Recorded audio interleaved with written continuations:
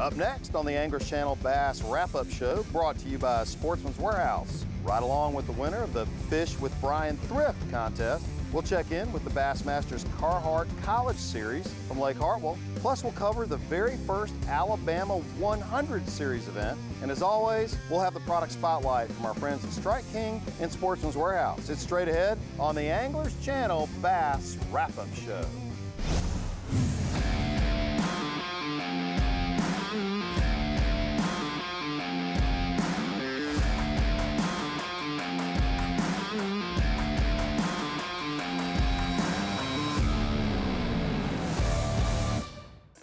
Hey everyone, welcome to this week's Anglers Channel Bass Wrap-Up Show brought to you by Sportsman's Warehouse. Let's get today's show started in Anderson, South Carolina at Green Pond Landing right there on Lake Hartwell. Hey guys, it's Michelle here with Blonde Girl Behind the Scenes. We are at Green Pond Landing at the beautiful Lake Hartwell for the Carhartt Bassmaster College Series top five teams going out today on the final day. Braden Perry and Aiden England with 18-11. Second place, Bradley Dugan and Sean Kooks with 18-6. Third place, Nate Lesh and Will Shabig with 18 even. Fourth place, Ben Cully and Hayden Gaddis with 17-13. And fifth place, Cade Fortenberry and Landon Bowden with 17-6. All right, we are here with Neil Paul, Executive Director of Visit Anderson. Neil, tell us a little bit about the tournaments happening today. Well, actually, we have two tournaments going on this weekend. So we have, of course, the Carhartt Bassmaster College Series here at Green Pond, and then we also have uh, the Crappie USA organization here for a, a, super tournament that was actually yesterday and today, just like the the uh, college event is. And so the opportunity to host 250 plus college boats you know, at a time when, you know, the local impact is significant, we didn't want to miss that opportunity. So we have two two tournaments going on here at Green Pond at the same time, over 300 boats between the two events, and it's been a, a significant impact on our local economy this week. The Bassmaster uh, College Series anglers are taking full force out there. 18 pounds came in yesterday. You expect the same today? Uh, I don't know. I, I thought, I told somebody this morning, I thought the bags would probably drop off. There is an 18 pound bag out there today. It just may not be the leaders that catch it. So somebody that's further back in the standings may use that opportunity to uh, push their way to the top. Your day number one leaders with 18 pounds and 11 ounces coming up from Carson Newman University, Braden Perry and Aiden England. You fall into 32nd. You have five in your bag. You need 14 pounds and 11 ounces to take over the lead. Looking for 14, 11.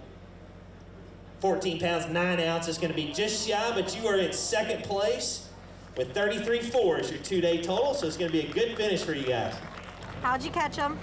Uh, most of them were caught dropping, uh, like a Damiki rig, you know, just fishing vertically. And uh, we caught most of them doing that yesterday. And other than that, we caught them on a wobble head. How are the conditions out there? Uh, yesterday they were perfect. Couldn't ask for better conditions. But today uh, we got out there and the wind was whipping right on our hole.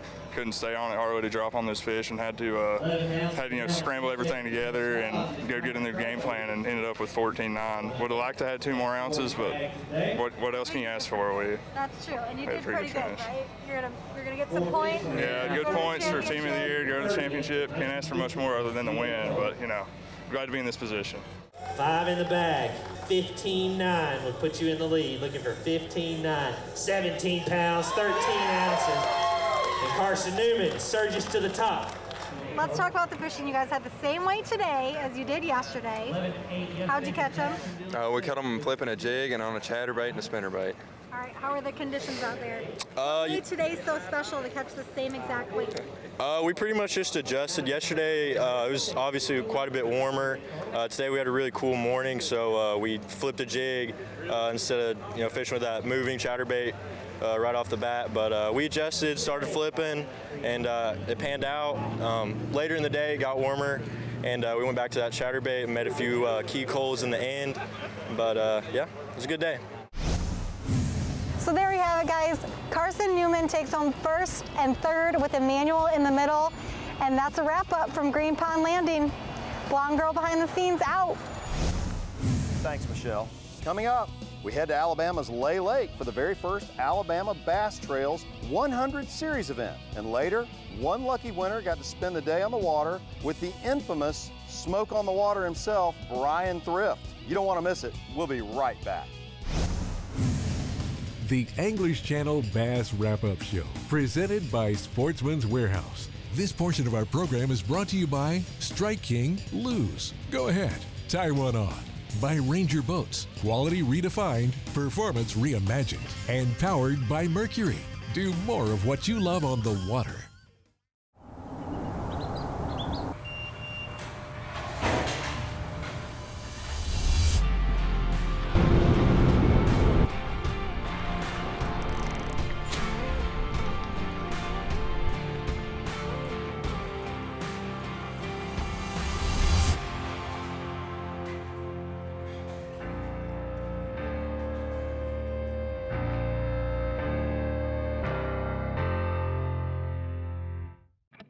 From bass and walleye to crappie and the great outdoors, you deserve more than old school aluminum.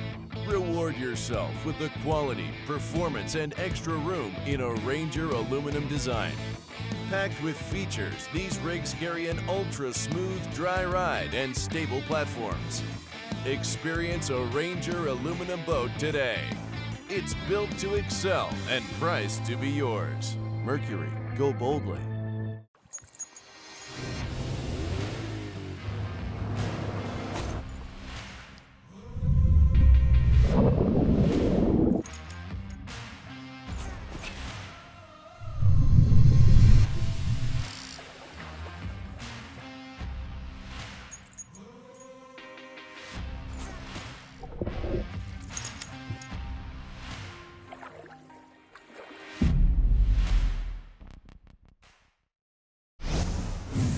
Hey everyone, welcome back.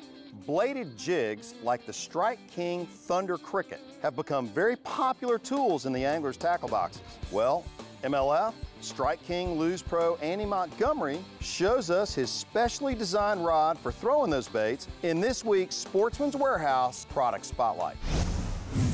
All right, another thing that I'm excited about, something I wanted to do for a while, was design a bladed jig rod, a Thunder Cricket rod. Probably the hottest bait over the last 10 years, won so much money on the national tournament trails, local tournament trails. The Thunder Cricket, the bladed jig. I designed a rod for Lew's that is specifically designed for the bladed jig. Um, what makes a good bladed jig rod? All right, so the bladed jig or the Thunder Cricket is, is sometimes called halfway between a square bill and a spinner bait, right? For a square bill, we use a softer rod. Let that fish eat that bait, get the hooks in his mouth, and we catch him. Spinner bait, we use a little bit stiffer rod because it's got a bigger hook. So I wanted something in between. You know, I wanted something that the fish could really get the thunder cricket in their mouth and eat it good, but I had to have enough backbone to get this big hook through the fish's jaw. This is not treble hooks. Square bills, treble hooks, you don't need that stiff rod to get it through. So I tried to balance it out. I came up with what I call a 70-30 rod. So the last 30% of the rod is a lot of tip. See that? That's gonna allow that fish to eat that bait, get the bait in his, in his mouth good. But after that last 30% flexes, the 70% of backbone is gonna hit him, and that's how you're gonna drive that hook through. You know, one of the inherent problems with the bladed jig is the hookup ratio. We addressed a lot of those concerns with the Thunder Cricket, the way it's attached to the eye, the hook in it, getting the blade away from the hook. It's gonna increase your hookups. If you pair it with the right rod that has the right flex to allow the fish to get the bait good, but a lot of backbone to drive that hook home. If you get that hook in him, you're gonna get him almost all of the time. If you don't get the hook in him, that's the fish you lose when the hook only halfway goes in. So that's what I did. I tried to balance it out. A really soft rod that you would use for a square bill versus a stiffer rod you would use for a spinner bait. I came up with the perfect bladed jig rod. Team Lew's Signature Series bladed jig Thunder Cricket rod. The Alabama Bass Trail started a new series this year called the ABT 100 Series. Here's Program Director Kay Donaldson and host Robbie Floyd at the first of three ABT 100 Series events. It is a cold kickoff to the inaugural Alabama Bass Trail 100 presented by Phoenix Boats. Welcome to Lay Lake. Robbie Floyd, Kay Donaldson with the ABT. You're the program director. This is your show, and boy, what a show it is. The best of the best from the ABT, the Elite Series, the Bass Pro Tour, FLW, they're all here. They're all here, and you know, Alabama 100 stands for a couple of things. 100 boats is one of them, 100% payback, but $100,000 is what we will award here today, and that's pretty exciting. A lot of money's on the line, but Lay Lake, it is cold. We had a lot of heavy rain earlier this week. It's not supposed to get out of the 30s today. You know, I think that's going to throw a lot of people uh, a curveball, and those guys who have a lot of experience on this lake could benefit from that. So it's going to be interesting to see when they come across the stage this afternoon. Well, typically on the Alabama Bass Trails, we say no matter the conditions, we know they're going to catch them. Well, here we've got more than just ABT anglers. We got the best in the world. Hooked up now at the front.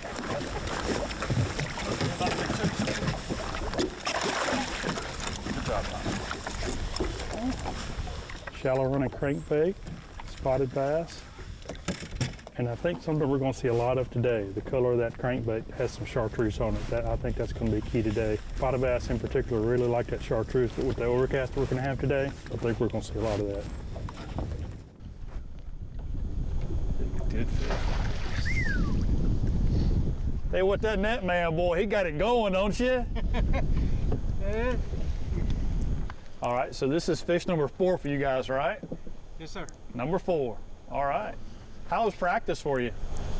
Uh, Wednesday was real good. Yesterday was better than motel room.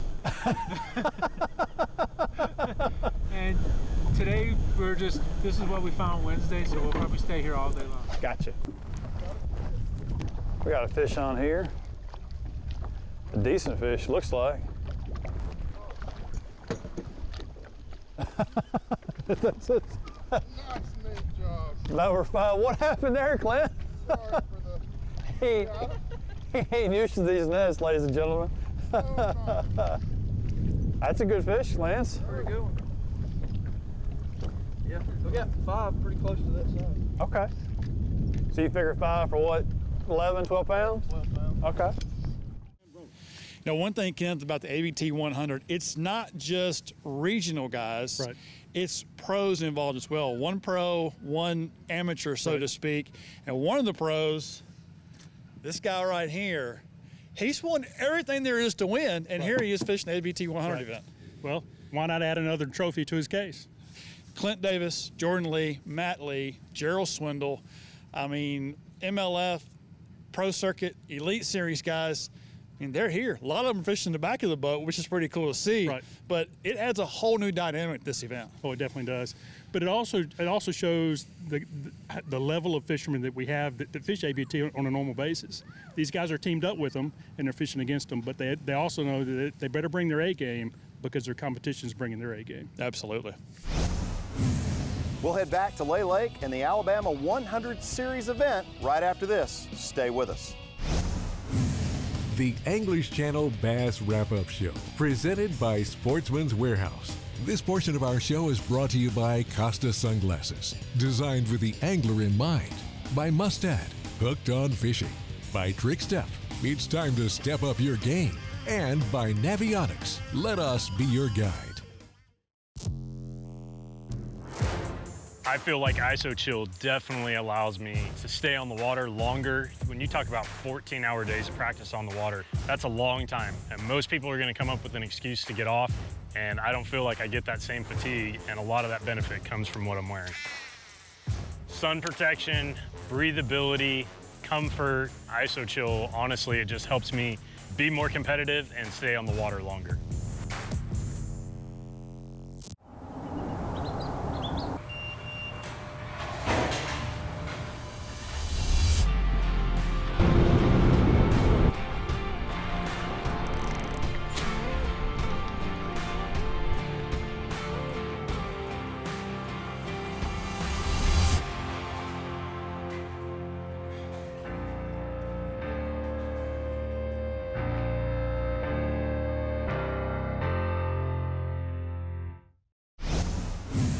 Get back to the Alabama Bass Trail 100 Series on Lay Lake. You get a limit. You're doing things that a lot of people couldn't do today. How did it go? Tough. Super tough. Let's find out what super tough is because you're going to be our leader. Stephen Perry, Tanaka, 11 and a half pounds, 11.54 to be exact. You got five bass. Looks like you got some good ones. Y'all had a good day today. Good job. Let's find out. They're trying to take the lead and they're going to do it. Williams and Smith get kicked off. Collins and Hicks went 14.85 moving up that leaderboard. Almost 15 pounds. You got five bass. I love seeing that. I love what you know I love even more than seeing that. John Collins and uh, Derek Hicks had 1485. Davis and Chapel, five bass for 1637. We finally got a 16 pound bag. We saw you in the water uh, kind of mid morning today, and you guys, I think, had two small fish. Tell us how your day went after that. We just kind of made a move, and it was a place that I found in practice, and we fish here a lot and just kind of know when to move and when not to move. It ain't it ain't nothing special. It's just being being able to fish here a bunch. Logan Johnson, Jeremy Christian. Come on over here, guys. Oh, you got your hands in your pockets. You're doing the wheezy walk. That, that tells me that you got some big bass. I have seen it before. And we are going to have a new leader. People thought it was going to take 18 to win. Right it now, it is going to take at least 1870 to win. Logan Johnson, Jeremy Christian, 18.70. Well, Kay, it was a cold start to the year, but boy, how about Johnson Christian? They started off hot. Two ABT regulars proved they have what it takes to beat the best of the best. You know, they've done it before, but this was a really big stage. And I mean, these guys are solid fishermen. They fish through college, they fish with us since we started. So they actually held the record for the largest bass ever caught in the Alabama Bass Trail Tournament. It was 1036 at Pickwick Lake. Um, on a day about like today. So um, they they're pretty good in cold weather. I want to bring them in. Uh, yeah, the cold weather doesn't seem to bother you at all. But uh, did you think 18 pounds would win it here today, or do you think it would take more? Well, first of all, the cold weather does bother us. I've complained about it all day. Logan has not. He's not even wearing socks. But uh, uh, we kind of figured that would probably be around the weight that would win, but we didn't really think it would be us. But uh, but it's been taking about that, maybe a little less here in the local tournament. So we just kind of figured that would be, you know, a pretty good goal. And we really didn't think we had that much weight until we come in. We started taking them out of the live wells, and said, man, we might have a little bit more than we thought. Congratulations to Logan and Jeremy. Nice payday for sure. Stay up with all the action on the Alabama Bass Trail all year long right here at anglerschannel.com and the alabamabasstrail.org. Coming up after the break, we're on the water with the winner of the Sportsman's Warehouse Fish with Bryan Thrift contest. Stay with us. The Anglers Channel Bass Wrap Up Show, presented by Sportsman's Warehouse. This portion sponsored by TH Marine, quality marine products, by Humminbird Minn Kota, making every cast count, by Visit Anderson, South Carolina's bright spots, and by Relion Batteries.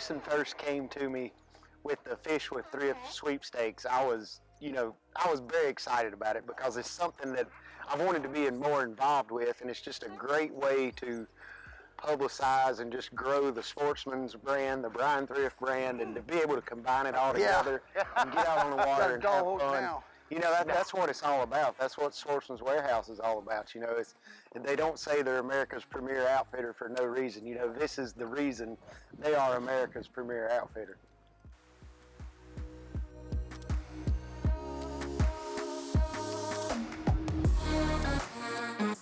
Oh, there you go. Off. We're good. Get it?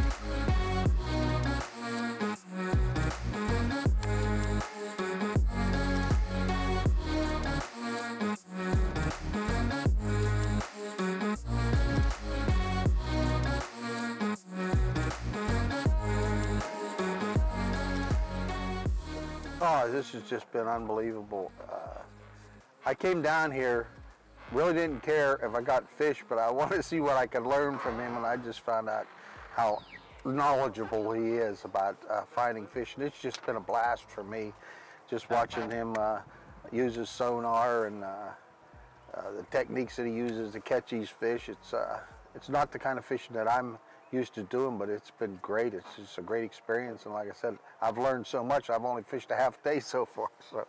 So, what have you learned today?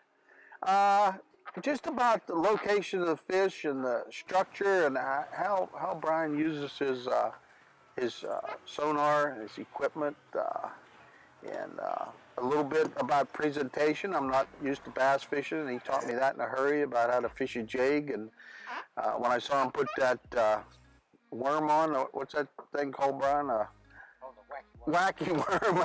I didn't believe anything would hit it, but I saw him catch fish on that. So I'm learning a lot about presentation and a lot about finding fish, and that's what it's all about. So this was something I was excited about because there's there's nothing like getting out there and being able to explain what you do to someone else that's very interested in it. And you know, I picked up immediately. George wanted to learn. He wants to learn the graphs, how to fish, you know, offshore structure, how to find fish, all the different techniques that come along with bass fishing. And that's another reason we chose Lake Norman is because it offers so much. And we have had an absolute blast this morning, and I'm looking forward to the rest of the trip. One just hit mine. He's all right. Yeah.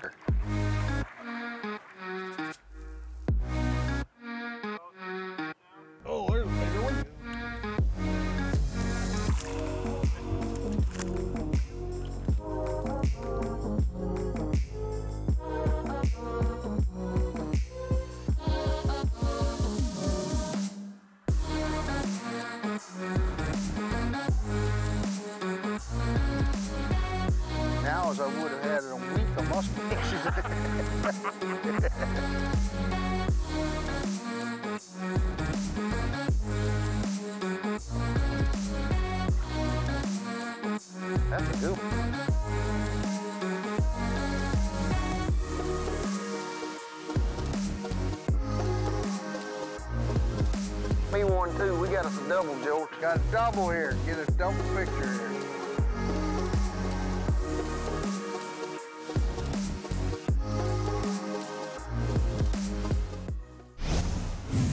Thanks for watching this week's Anglers Channel Bass Wrap-Up Show brought to you by Sportsman's Warehouse. For updated tournament news, gear reviews, check out anglerschannel.com with the Anglers Channel Insider Podcast, Anglers Channel Extra Webcast. There's more information than you'll ever need in just one place. Be safe on the water. We'll see you next week.